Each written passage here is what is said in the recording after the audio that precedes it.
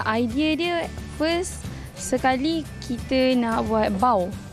Tapi because of uh, dari segi apa yang saya pernah belajar apa semua, bau ni a bit uh, complicated. So uh, husband suggest untuk buat this kind of roti lah.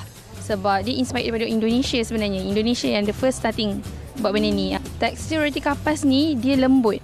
Dia basically adalah uh, roti yang kita kukus daripada awal proses sampailah kita serve kepada customer. Dia kalau selalunya roti kita bakar kan, uh, tapi ini kita kukus. Dia nak kata macam pau pun boleh, tapi kita bukan buat exactly pau. Kita memang buat roti tapi kita uh, buat berkonsepkan macam ni dia rasa ala-ala pau macam tu sebab kan first intention kita nak buat bau kan kita tak nak keluarkan bau tu daripada kita punya ni kita tukar bentuk sikit and then kita unikkan dia lagi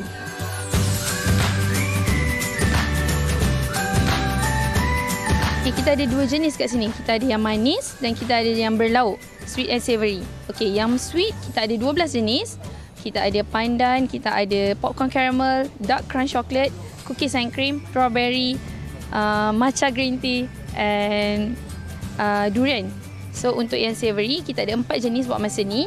Kita ada daging hitam, daging rempah, ayam rempah and also sambal sardin.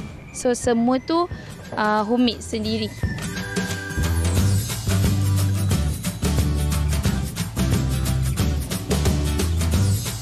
Daripada satu syawal yang tepung gandum ni dia mengubah banyak sangat kehidupan saya dari segi uh, hubungan saya dengan anak, dengan suami, dengan keluarga dan juga dari segi kewangan. Uh, nak tubuhkan uh, bakery, mini mini bakery kat sini sebenarnya.